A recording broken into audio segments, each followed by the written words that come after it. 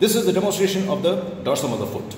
The dorsum of the foot is covered by a fascia, which is called the dorsal fascia, and therefore it converts the dorsum of the foot into a compartment, which is called the dorsal compartment.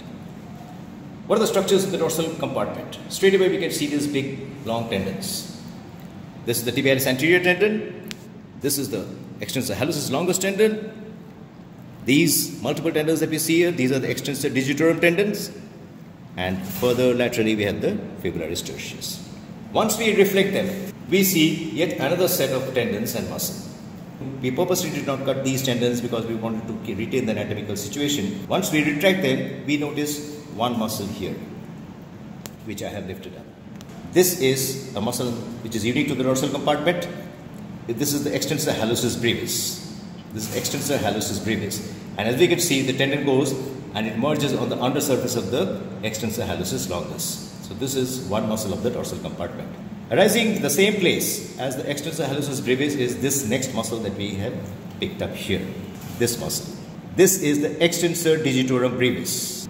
And we can see that the extensor digitorum brevis is also giving multiple tendons. We have retracted the extensor digitorum tendons to show you the smaller tendons of the extensor digitorum brevis. And we can see that each tendon of the extensor digitorum is accompanied by a brevis tendon which goes and attaches to the undersurface. So this is the extensor digitorum brevis which we have lifted up and these are the tendons. These are the muscles which are unique to the dorsal compartment.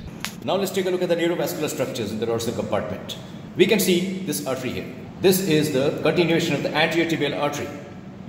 The anterior tibial artery runs in the anterior compartment of the leg and then it goes under the extensor retinaculum and after that it becomes the dorsalis pedis artery.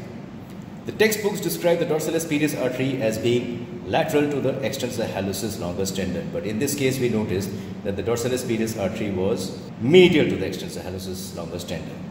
The dorsalis pedis artery then runs on the dorsum of the foot. It gives branches, medial and lateral dorsal branches and it gives a big artery which goes like this and that is known as the arcuate artery. And this arcuate artery is multiple dorsal metatarsal arteries. And finally the dorsal pedis terminates as the first dorsal metatarsal artery and a perforating artery which goes to the sole of the foot. So this is the dorsal pedis. We can feel the pulsation of the dorsal pedis just lateral to the extensor hallucis longus tendon against the head of the talus or the navicular bone exactly where my thumb is located and that is used clinically to palpate the foot pulsation in cases of suspected peripheral vascular disease. The next structure that we can see in the foot extending from the anterior compartment is this nerve here. This is the continuation of the deep fibular nerve. After it has supplied the muscles of the anterior compartment, the deep fibular nerve then continues under the extensor retinaculum and it supplies the muscles of the dorsal compartment, namely the extensor hallucis brevis and the extensor digitorum brevis, which I showed a little while earlier. And thereafter, the deep fibular nerve terminates by piercing the skin, and we can see the branch here, and it supplies the skin of the first interdigital cleft exactly where my instrument is tracing. And this is the first dorsal metatarsal cutaneous nerve. There's one important clinical correlation at this juncture. This nerve can get entrapped under the extensor retinaculum, which as we can see is a very tough structure here. And that condition especially occurs with skiers who wear tight boots and they tie the shoelace tightly across the dorsum of the foot. In which case, that compounds the compression of the deep fibular nerve, and that is known as ski boot syndrome. Such patients will have weakness on the two dorsal compartment muscles, and they'll have loss of sensation or tingling, paresthesia, and numbness in the first intermetatarsal space. On the dorsum of the foot, we can also see some superficial cutaneous structures, notably this structure which I have lifted up here. This is the beginning of the formation of the long saphenous vein. And we can trace the long saphenous vein proximally all the way up. And this is the longest superficial cutaneous vein which goes all the way to the thigh. It starts by union of all the, the dorsal venous network and it starts as the medial marginal vein. And we can see that it continues the medial marginal vein and it runs in front of the medial malleolus. And then it runs on the medial side of the leg. And accompanying this long saphenous vein is this nerve here. And we can see that nerve here and we can see a little bit of the fibers of the nerve here. This is the saphenous nerve, which is the longest cutaneous branch of the femoral nerve and it's the only branch of the femoral nerve which goes outside the thigh. And this accompanies the long saphenous vein. The long saphenous vein, this is a very useful site just above and anterior to the medial malleolus where we do venesection or venipuncture. This long saphenous vein can also be harvested for coronary artery bypass grafting, in which case there can be an inadvertent injury of the branches of the saphenous nerve and the patient may have paresthesia, numbness or tingling on the medial side of the leg and foot.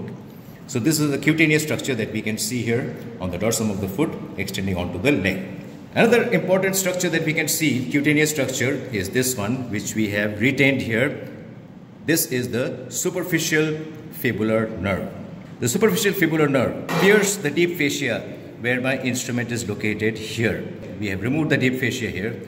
It supplied the muscles of the lateral compartment and after that in the lower one third of the leg it pierces the deep fascia and then it runs on the anterolateral aspect of the lower one third of the leg as we can see here and it divides into multiple cutaneous branches. This nerve runs superficial to the extensor retinaculum and it supplies the skin of the entire dorsum of the foot except the first intermetatarsal space which of course we have mentioned is supplied by the deep fibular nerve. Superficial fibular nerve in a thin person can be seen as small fibers standing up on the dorsum of the foot if the foot is stretched and the toes are extended. But patients who have repeated inversion injuries of the foot, they get traction neuropathy of the superficial fibular nerve. So these are the structures that we can see on the dorsum of the foot extending from the leg or other way around.